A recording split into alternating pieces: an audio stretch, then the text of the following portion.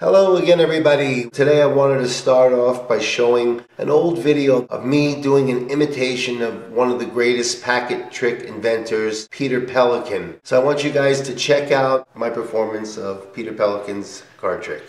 Good day. I'd like to show you something. Something with four cards. I have one, two, three, four blank cards. I flip them over and the four cards are one, two, three, four blank cards. All I have to do is just go chinka chinka over the jack, and now I have one, two, three, four jacks.